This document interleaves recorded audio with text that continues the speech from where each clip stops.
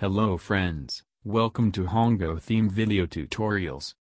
In this video I will show you how to create mega menu and use it in your website header navigation.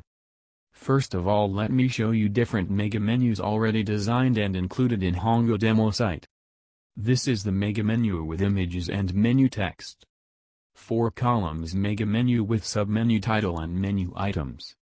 It is showing categories, featured products via widget and banner images.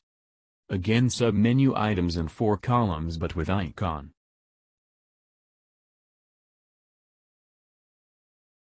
Let me show you one more demo page which have categories menu with mega menu for each category.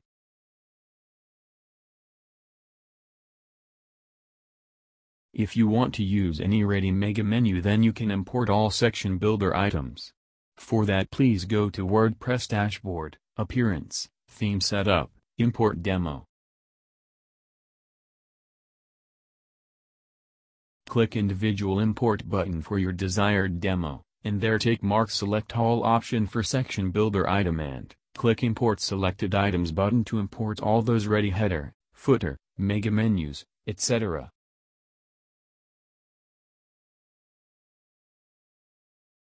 Now go to Section Builder, All Sections.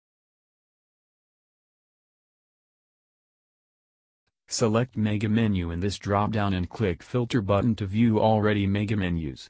You can edit your desired mega menu or create a new mega menu as per your need using WP Bakery Page Builder same way like you create content for the pages or posts. Let me create a new custom mega menu. Click Add New, enter title, Test Mega menu and go to bottom under Hongo section Builder settings. Select section type as Mega menu and, here you can set your desired background color, image and position for your Mega menu. Now go back to top and switch to WP Bakery Backend Editor mode. Let me add a row with 4 equal width columns. Now add navigation links shortcode, add submenu title. Under Links tab let me add menu items one by one.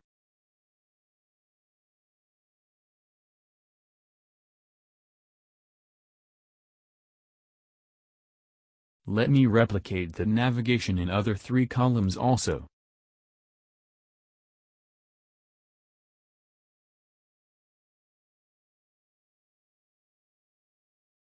Now let me go to Appearance, Menus to create my new menu and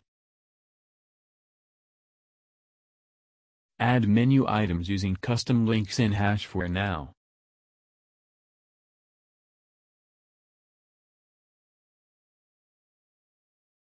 I want to display Mega Menu under Shop Main Menu, so open it and select Test Mega Menu in this Mega Menu selection drop-down. You can create more Mega Menus as I have just explained and assign here for other menu items also. Now go to Appearance, Customize, header and footer, and here I can see center navigation header is assigned as header. So let me go back to section builder and edit that header.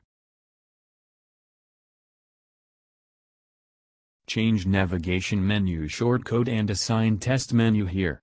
Save changes and update. You can also create your custom header using this section builder and Assign it in Customize panel to make it visible in your website. Now let me go to any post and I can see my new assigned menu as well as Mega Menu under Shop also.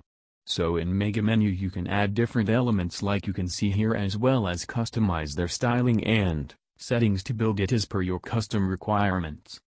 I hope this video has been helpful. If you have any other queries then please feel free to contact us via our support system. Thank you for watching.